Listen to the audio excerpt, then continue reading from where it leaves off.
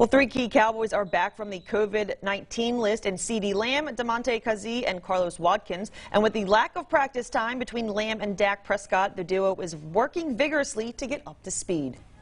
Well, it's, I mean, everything you can. Uh, so, I mean, it's within the, the realm of our practice structure. You know, if there's extra throwing and you know, we're in a game plan mode, we put in normal D and D and third down today. This would be like in season Wednesday. So, you know, we, we, we're we're in a game plan scheme specific as far as our operation. You know, but I think anytime you have a chance to compete, which we'll do when we get into the next the Sunday Monday phase of the week of preparation, we'll get, maybe have a couple competitive periods or at least one each day because I, I do want to get that going. So I think it'll definitely help guys that haven't had some reps here of late.